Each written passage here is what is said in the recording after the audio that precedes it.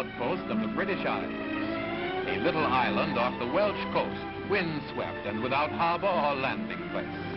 No signs of human habitation, only the anchors and chains of wrecked ships line its treacherous seal-haunted coves.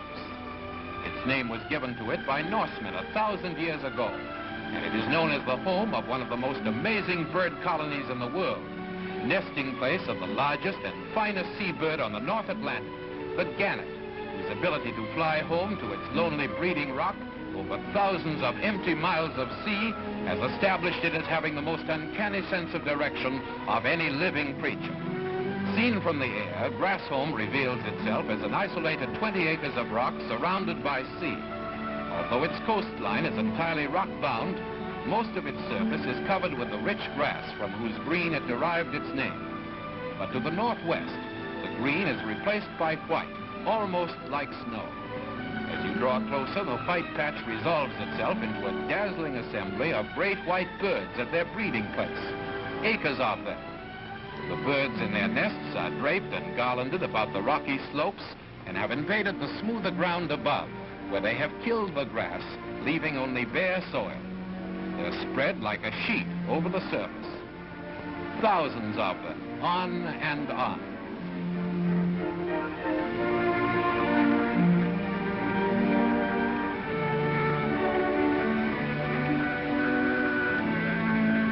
What a bird it is, designed as a perfect piece of living machinery for plunging after fish from a height with a wingspan of six feet.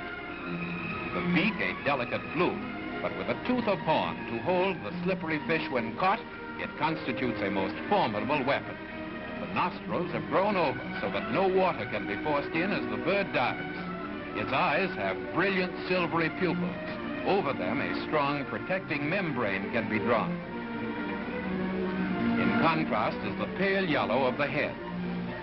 Unlike most birds, the gannet can see directly forward, the better to look down for fish as he soars. The feet black with green stripes, all four toes joined by a single web for swift swimming underwater. The middle toe is furnished with a comb. On the island spend most of their time sitting on their nests. Now and then one rouses itself to flap the laziness out of its system. What excitement! A mated pair express their emotion by ceremonial billing. The long beaks click against one another like rapiers. Such a bout may go on for three or four minutes. These ceremonies are just an expression of excitement and affection, and billing serves as an emotional bond between the mated birds. The chief enemies of the gannets on Grassholm are the seagulls. Here is a horde of them, and what an opportunity is theirs with nests left unprotected by their owners. It's not only eggs and young the robbers are after. When a gannet is frightened, it lightens itself for flight by pumping up the fish from the crop.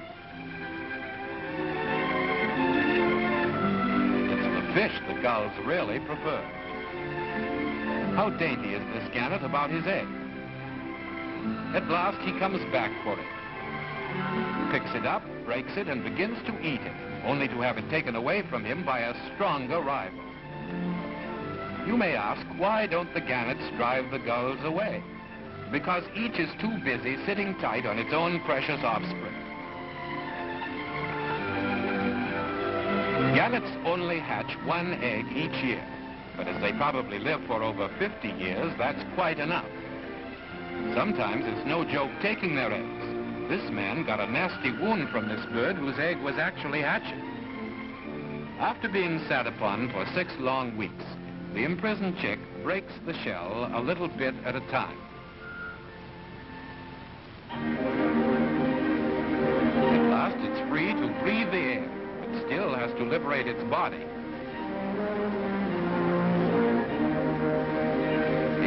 Exhausted, it lies quiet for a while, then makes a fresh effort, until at last, it extricates itself entirely.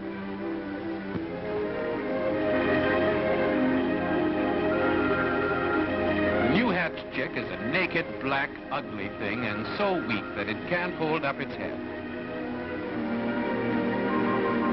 In a few days, it has grown quite a little and the down begins to sprout.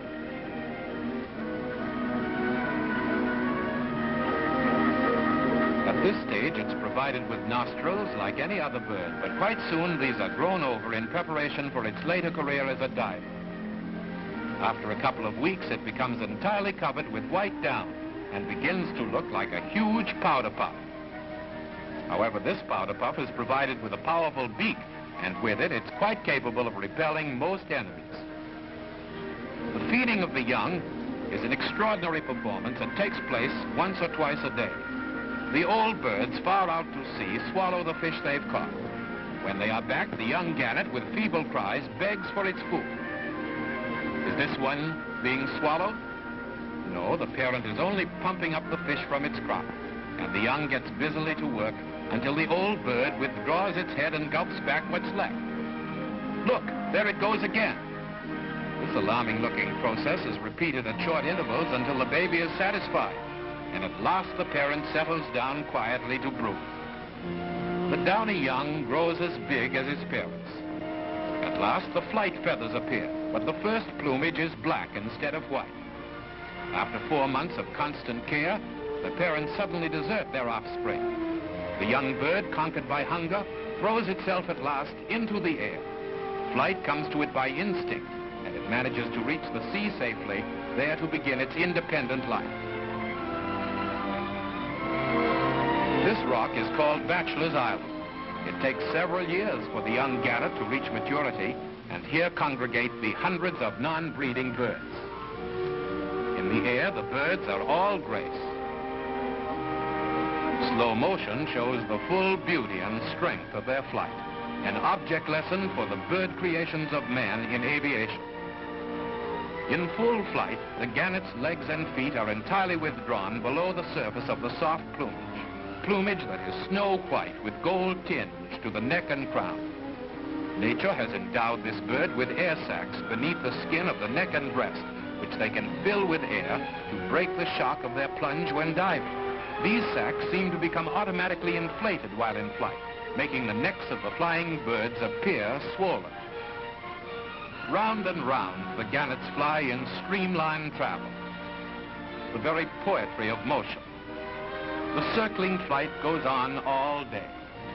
The wondrous resources of nature afford no more beauteous scene than the graceful motion of this handsome bird in full flight. The sheer enjoyment of soaring through space. This is life.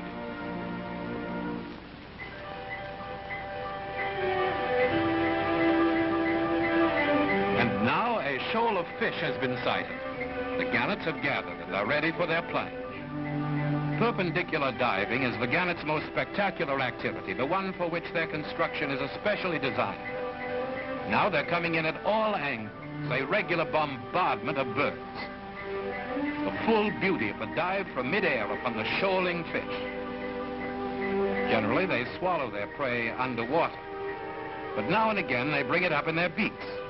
Beneath the surface, their binocular-like vision penetrates the cloudiest water.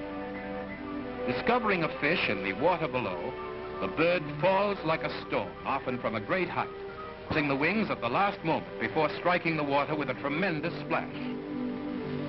Then it swims swiftly underwater with the bubbles all around. This shoal happened to be close to the surface, but sometimes the fish are much deeper. Even so, the fish are not safe, for gannets have been caught by fishermen's nets a hundred feet down. Fishermen have learned to guide the setting of their nets by the way the gannets dive. If the birds are plunging vertically from a great height, it means the fish are deep. If they make short sideway dives, as here, the shoal is near the surface. In the entire world, this magnificent bird is known to have only 20 nesting places, but these harbor more than 150,000 breeding gannets. Whether this bird will maintain its present secure position is a question no one can now answer. Great storms at sea are probably its worst enemy. Floating refuse oil from oil-burning ships cause thousands to die miserable deaths. Nature and man may one day observe a truce with all such grand forms of wildlife toward the continued prosperity of that which gives us pleasure because of its grace and beauty. And so, once more, to Grassholm, with its snowy patch of gannets, expert airmen, skilled divers, and submarine hunters to say goodbye.